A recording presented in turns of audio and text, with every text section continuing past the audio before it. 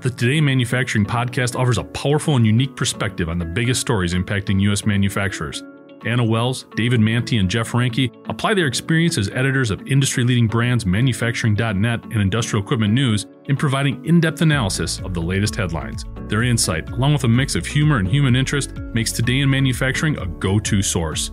Keep pace with supply chain challenges, electric vehicle developments, labor struggles, robotics, and more by listening, downloading, and subscribing to the Today in Manufacturing podcast. Once again, General Motors has made history.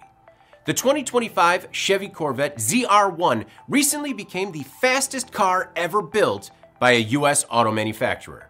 And the driver was none other than GM President Mark Reuss. The GM team traveled to Germany's high speed oval track at ATP Automotive Testing Facility in Papenburg and reached a two way average speed of 233 miles per hour. They clock you both ways and take an average to account for the wind. Papenburg provides ideal conditions for a high speed test, like temperature and air density. The ZR1 is now the fastest current production car, priced under $1 million, and the fastest factory stock Corvette on Earth, according to the company. The 2025 ZR1 is expected to start around $180,000 and go up to $205,000, according to Car and Driver. In 2020, Corvette moved to a mid engine architecture, and the ZR1 has the most powerful V8 engine ever produced by a domestic manufacturer. The ZR1 set the record with a standard chassis and aero package, as well as a standard spoiler, carbon fiber ground effects, Michelin Pilot Sport 4S tires, and aluminum wheels. However, a top speed mode was exclusively developed for closed course use. The setting adjusts chassis control systems for max speed.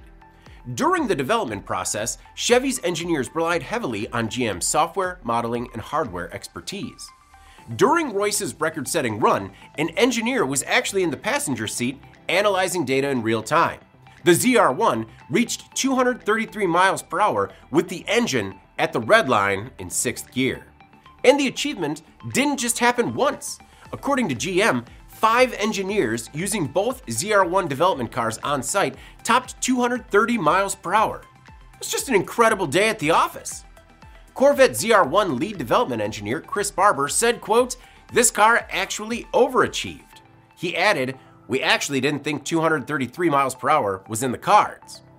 When development started on the C8 generation Corvette, the goal was 220 miles per hour, in testing, the car exceeded expectations, so the team pushed the top speed objective to 230 miles per hour. Once again, this is the most powerful factory built V8 engine from an auto manufacturer in the United States. The ZR1 has a 5.5 liter twin turbocharged V8 that can generate 1,064 horsepower at 7,000 RPM and 828 foot pounds of torque at 6,000 RPM. GM says the ZR1 has an estimated sub 10 second quarter mile time. Reuss called the record breaking attempt, quote, an exhilarating, surreal experience. I'm David Mantey. This is Manufacturing Now. Holy crap, that's fast.